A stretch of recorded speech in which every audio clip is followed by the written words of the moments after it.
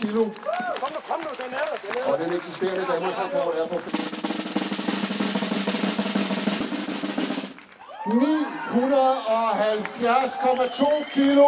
Det vil sige ikke bare ny Danmarks Roskilde Atletklub herovre, så vi også lige kan få givet en hånd til jer.